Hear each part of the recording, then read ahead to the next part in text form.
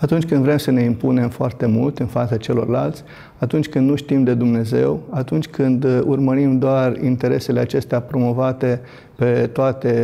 mijloacele și pe toate căile de comunicație, atunci când întâlnim o situație limită, atunci când întâlnim probleme cum au fost și cele despre care v-am menționat, în care sunt uh, constrângeri și griji asupra noastră din ce în ce mai multe și nu găsim acest suport, această cale a credinței pe care au descoperit-o de pildă și oamenii care fără voia lor au ajuns de pildă în temnițele partidele comuniste și care au trebuit să treacă prin încercări greu de imaginat și greu de suportat, dar acolo uh, au, l-au găsit pe Dumnezeu. Și liniștea aceasta și rostul acesta profund al sufletului omului și al, uh, al, uh, al țintei pe care el o are de îndeplinit din încredințarea și din darul lui Dumnezeu de la începutul omenirii și pentru toți oamenii care au trăit și vor trăi vreodată aici pe pământ, încât uh, ne aducem aminte și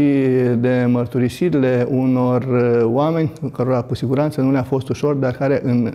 ciuda și în, dincolo de dificultățile acelea ale temniților au